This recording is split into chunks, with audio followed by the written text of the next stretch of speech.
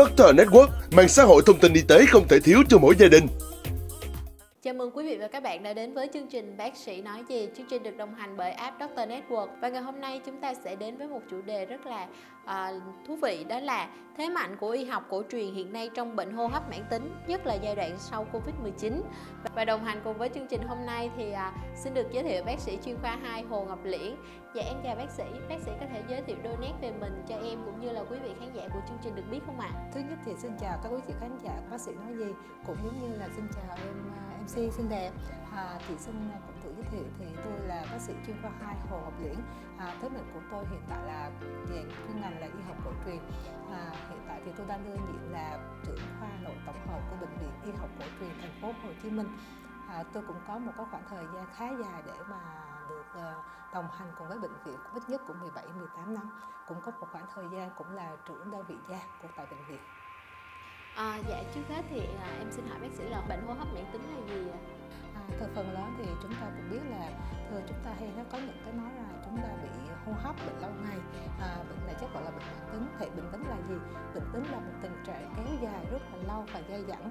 À, những cái biểu hiện của hô hấp như là ho khó thở hoặc là kèm theo những tình trạng chúng ta bị tắc nghẽn ở phổi có thể chúng ta sẽ ho có đờm chúng ta sẽ có tình trạng là không thở nổi hoặc là chúng ta sẽ có tình trạng sốt dai dẳng. À, hoặc là nếu đôi khi các bạn tới với lại bệnh viện thì chúng tôi lại nói rằng là các bạn đang có bị tình trạng viêm hô hấp. Đó là những cái biểu hiện cơ bản à, của một cái tình trạng người ta gọi là bệnh hô hấp mãn tính.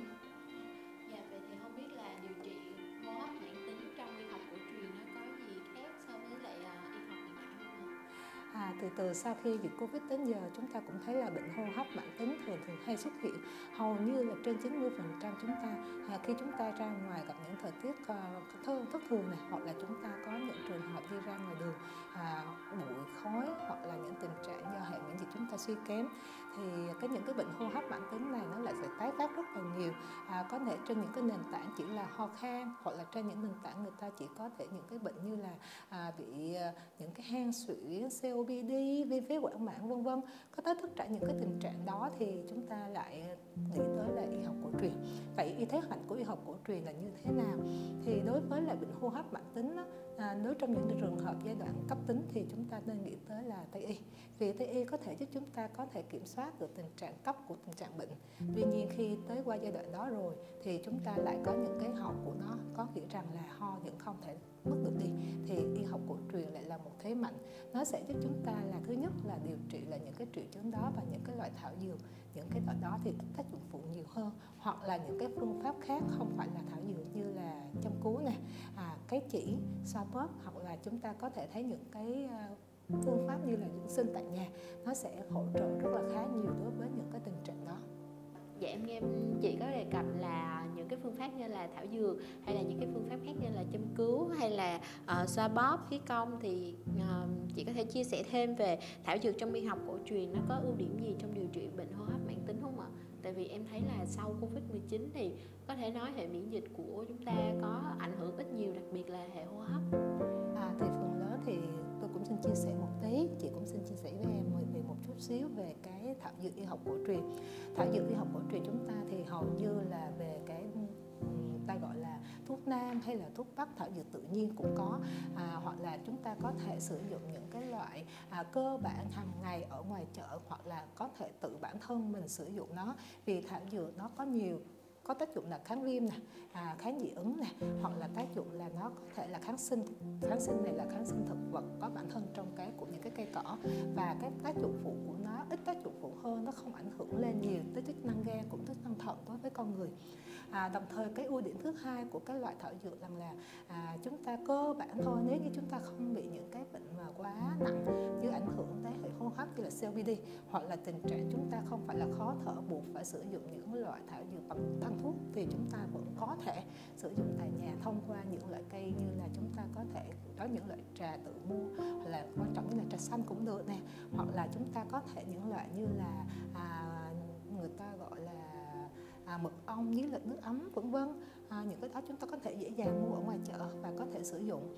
Tuy nhiên có một đặc điểm rằng là tùy theo mỗi cơ thể của mỗi người khác nhau. À, thì chúng ta sẽ phải lựa chọn những cái loại thảo dược những cái loại trà những lá phương pháp như thế nào phù hợp. Thì khuyên rằng là tất cả mọi người cũng nên được sự tư vấn của bác sĩ y học cổ truyền.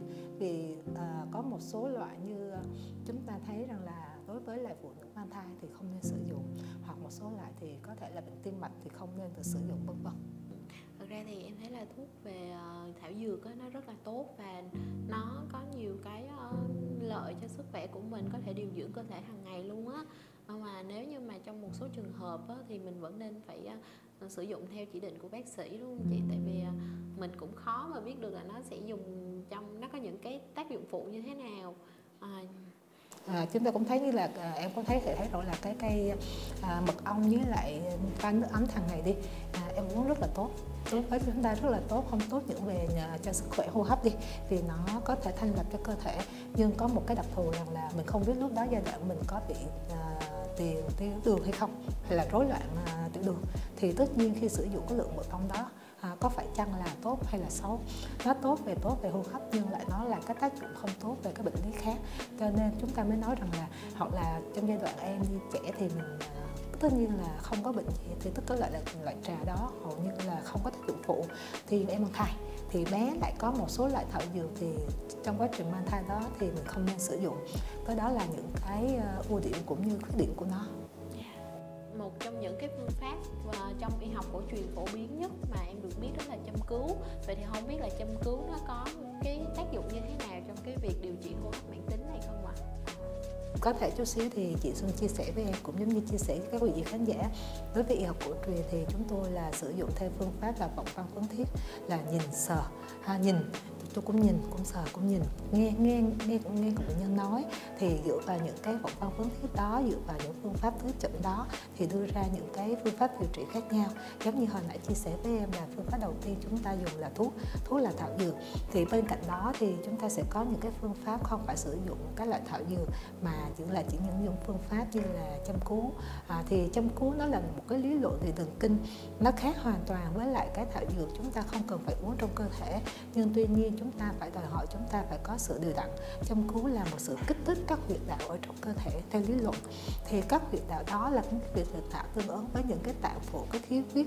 Khi chúng ta kích hoạt nó, chúng ta giúp cho sự lưu thông, thì nó không những là hiệu quả là giúp điều trị các triệu chứng của bệnh đồng thời sẽ giúp cho cái tình trạng của cơ thể mình hệ miễn dịch của mình nó cũng sẽ được thông thoáng. Đồng thời sẽ điều trị các triệu chứng của bệnh à, giúp cho hệ miễn dịch chúng ta sẽ được à, tăng cường thêm thì sẽ phải à, à, điều trị bằng cách nào hàng ngày hoặc là tối thiểu một ba hoặc ba ba hoặc bốn lần trong một tuần. Đó là cái bảy yếu tố cần quyết định.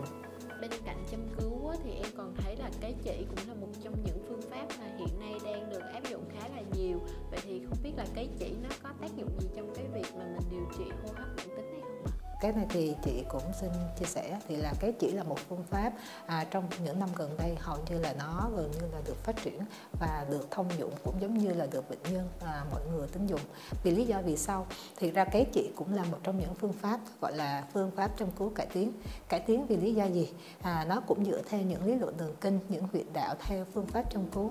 À, nhưng tuy nhiên khác nhau là chúng ta không cần phải mỗi ngày hoặc là chúng ta không cần tối thiểu 3 tới 4 lần mà chúng ta có thể cách nhau từ khoảng 2 tuần một tháng chúng ta có thể lặp lại. Lặp lại này tùy theo tình trạng bệnh hoặc là tình trạng của à, cơ thể của mình tại thời điểm đó mà bác sĩ sẽ quyết định thời gian và phương pháp cái chỉ này khác với lại chăm cứu như thế nào.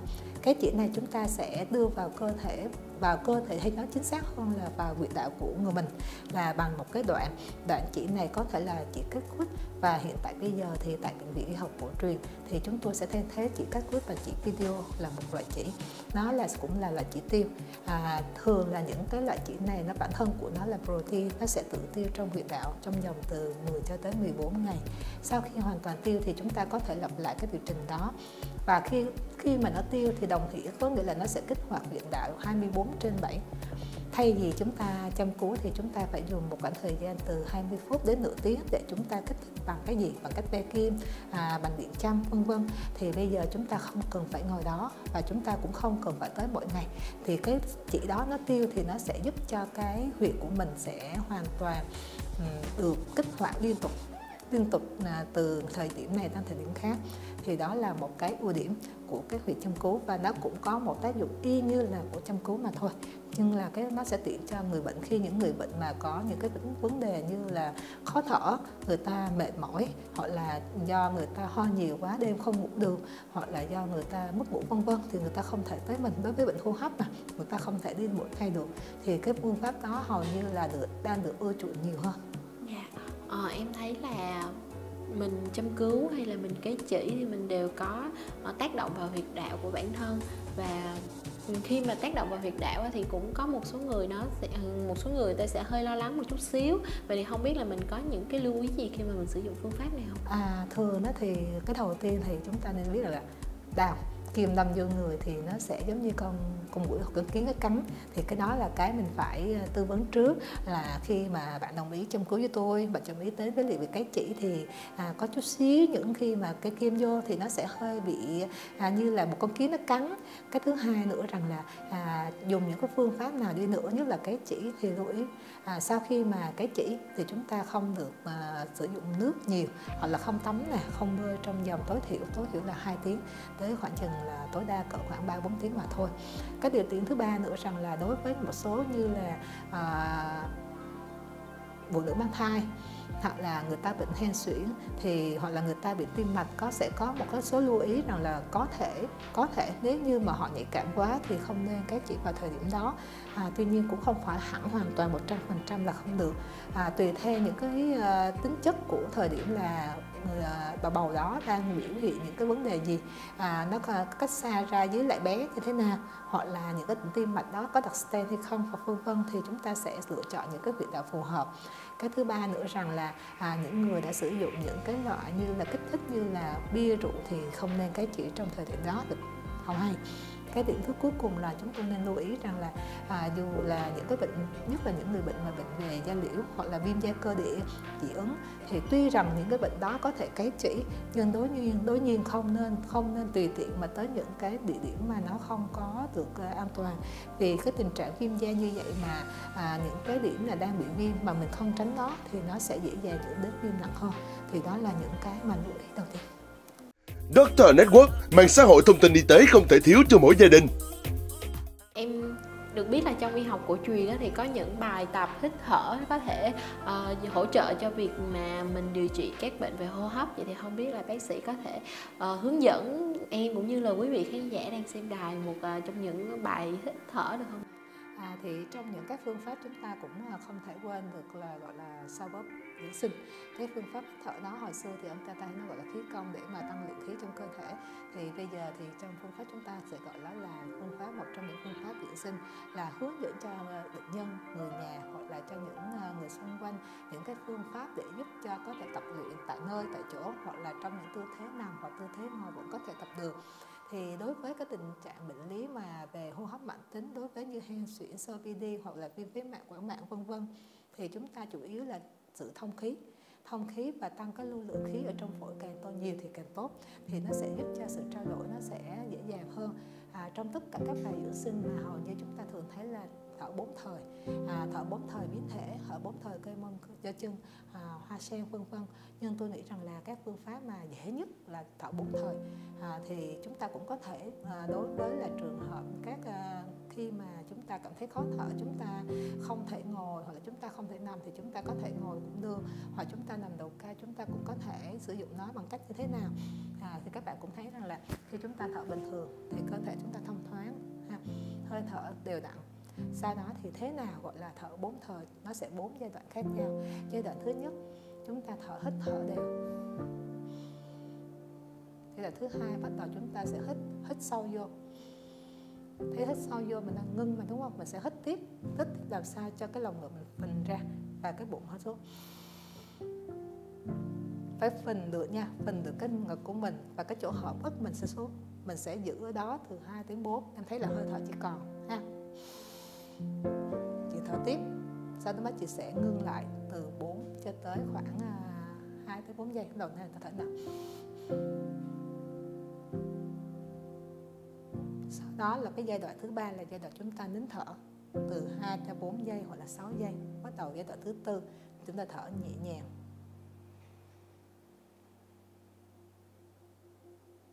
Thở tới nỗi mà cái bụng của mình sẽ hớp vô em thấy rõ ràng không? Cái giai đoạn thứ hai là phần cái ngực của mình sẽ to ra cái ngực của mình sẽ nở ra không khí lên. Cái quan trọng ở giai đoạn đó là giai đoạn mình có thể thở được hay không ha? À, cái nữa rằng là biến thể là như thế nào. Trong giai đoạn đó mình ngồi thì mình không thấy nhưng khi mình nằm giai đoạn khi mà mình bắt đầu nín thở nín thở thì mình sẽ chân của mình sẽ nhẹ nhàng đưa lên khoảng từ 10 cho tới 20 độ và mình sẽ nhẹ nhàng từng bước từng bước một tới khi nào khả năng mình không thể chịu đựng được. Qua đó bắt đầu mình sẽ hạ chân xuống và mình thở thở ra rất là nhẹ nhàng đó là bài tập đầu tiên chúng ta có thể dễ dàng nhất. Hầu như ai cũng vậy, khi mà cảm thấy ho, mà giống như mình ho hôm không có hơi, hoặc là mình nói nhiều quá, mình bắt đầu mất khí, thì chúng ta có thể bổ sung sự lưu thông khí bằng cách đó. Cái quan trọng là đúng đúng là như thế nào ở vùng giữa ngực chúng ta chúng ta phải phình hết cái ngực ra hết thở vô, càng sâu càng tốt. Thấy không? Rõ, em em hít chưa sâu? Hít càng nhiều càng tốt. Khi bản thân chúng ta khó nhất là chúng ta phải hít thở làm sao cái vùng ngực, cái này ở phần tầng trên này nó sẽ thở. Và sau đó chúng ta phải nín được. Khi chúng ta thấy rằng hơi thở chúng ta đang bị ra, chúng ta hít tiếp. Không được hả nha. Sau đến nín? Ha bắt đầu nào.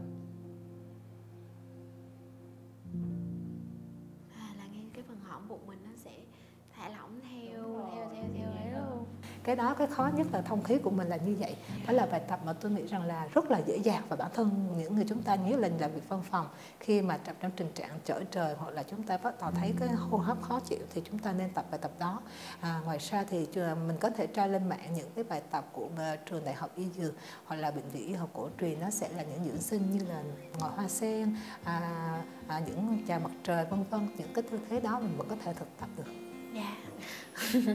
em không biết là mình có thể kết hợp giữa y học cổ truyền cũng như là tây y trong vấn đề điều trị hô hấp mãn tính không ạ? Tại vì thường nếu mà mãn tính là sẽ là quá trình điều trị rất là lâu và nó sẽ kéo dài dai dẳng trong nhiều năm liền á chị.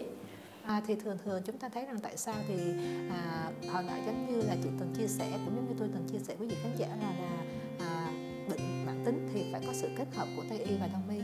Kết hợp tây y là như thế nào? À, có thể rằng là mình tin tưởng y học cổ truyền quá khi mà mình không có điều trị đúng cách thì mình sẽ trải qua một cái giai đoạn rất là mệt mỏi và cái tình trạng viêm của nó đang tới giai đoạn là tiến triển khá nhanh. À, nhất là sau cái covid bây giờ dù đã là 3 năm hai năm thì à, phần lớn là sẽ bị một cái gọi là hậu covid. À, dù ít hay nhiều chúng ta nói là chúng ta không hề nhiễm nhưng thử các bạn có thể đi chụp x quang vào thời điểm sau đó các bạn thấy là tổn thương phổi mình đều có hết có ít hoặc có nhiều. Thì tất nhiên là cái phổi mình đang có chịu một sự gọi là do khí hậu của mình do không khí của mình nó ô nhiễm mà. Thì nó là một yếu tố làm cho phổi của mình nó sẽ dễ dễ bị ảnh hưởng. Thì khi mà cái bệnh mãn tính bệnh mãn tính gọi là hô hấp mãn nó sẽ có một cái giai đoạn nó có thường có những giai đoạn cấp tính trên nền mảng cấp tính là sao? Cấp tính là mình sẽ rất là nhanh. Trong vòng có một ngày hai ngày mình sẽ ho rất là nhiều. Ho đàm khó thở rất là mạnh mẽ. Hầu như là cái phổi của mình không còn khả năng để trao đổi khí thì phải cứ sử dụng tây y. Chúng tôi cần tây y. Tây y khi nào? Tây y là những phương pháp chúng tôi không thể nào sử dụng những cái kháng sinh mạnh. À, tại vì y học cổ truyền những loại kháng sinh thực vật không thể nào mà đáp ứng trong vòng 24 giờ hoặc 48 giờ hết.